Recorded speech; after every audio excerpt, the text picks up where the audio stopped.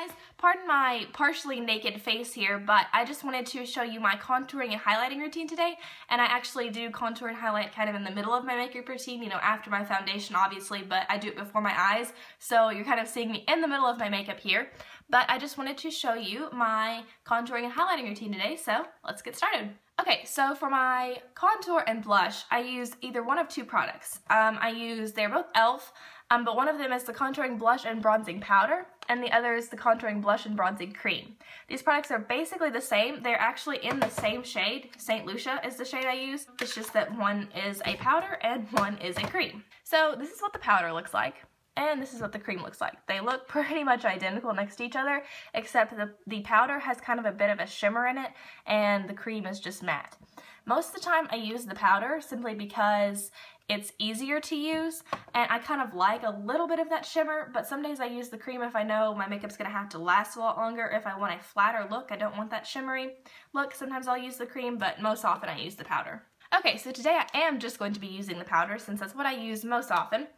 And I'm going to be using this angled brush from e.l.f. and I use this for both the blush and the bronzer. So what I do first is I take my bronzer and all I do is I just kind of tap the brush into it once like that. That's really all the product you need.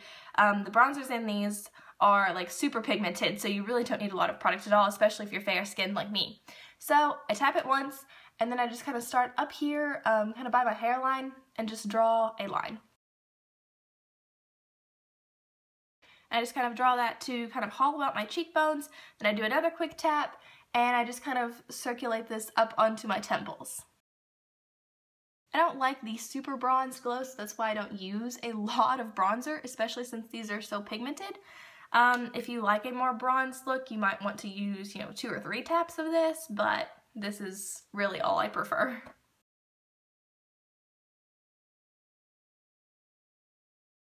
So once I've done that, like I said, to just kind of haul out my cheekbones. Um, sometimes I will contour under here or contour along the sides of my nose. I'm not going to do that today. I don't do it very often, just if I'm wanting a more refined look.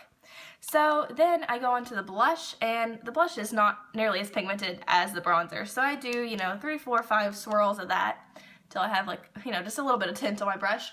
And then I just kind of swirl this onto my cheeks. Just kind of right above that contour line.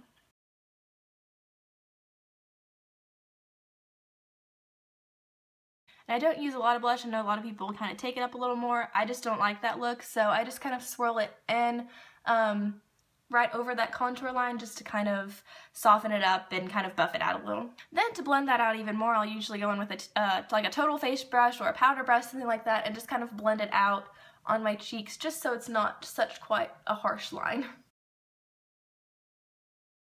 Then for my highlighting, I use the shimmer palette. And right now I am using this white color over here, although it looks kind of tan, kind of sometimes. Actually, in the camera it looks more white, but anyway. And I'm just using another angled brush from e.l.f. And what I do is I just kind of, this product is actually uh, like a cream, so I just kind of work my brush back and forth a few times in that, just until I have barely any product at all. And then I just draw a highlight right under my eye. Just kind of that same angle as the contour, except a couple inches higher.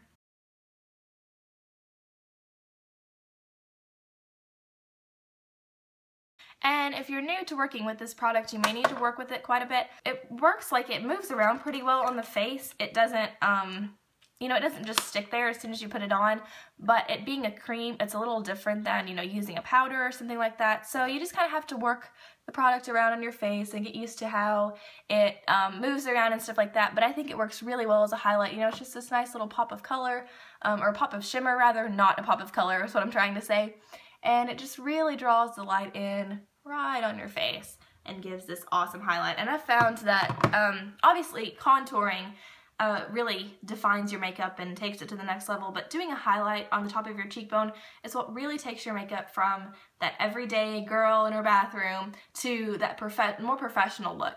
Um, and I'm I am an everyday girl doing my makeup in not my bathroom, but and I'm not a professional makeup artist. I don't claim to be a makeup genius or anything like that. I'm a beginner just like probably most of you guys.